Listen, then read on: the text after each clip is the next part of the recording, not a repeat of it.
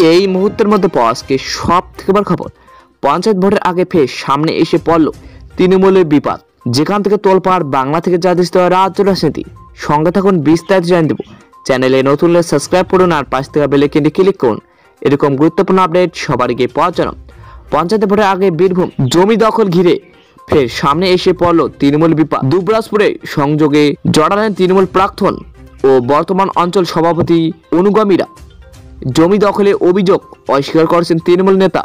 Notice দেওয়া হবে, অভিযুক্ত তৃণমূল নেতা জানালেন, যেখান থেকে তোলপাড় বাংলা থেকে জাতীয় স্তরের রাজ্যটা স্মৃতি বন্ধুরা, আপনাদের মূল্যবান মতামত অবশ্যই কমেন্ট করতে ভুলবেন না। পঞ্চায়েত ভোটের আগে ফের সামনে এসে পড়ল তৃণমূলের বিপাদ যেখান থেকে তোলপাড় বাংলা থেকে জাতীয় স্তরের রাজ্যটা স্মৃতি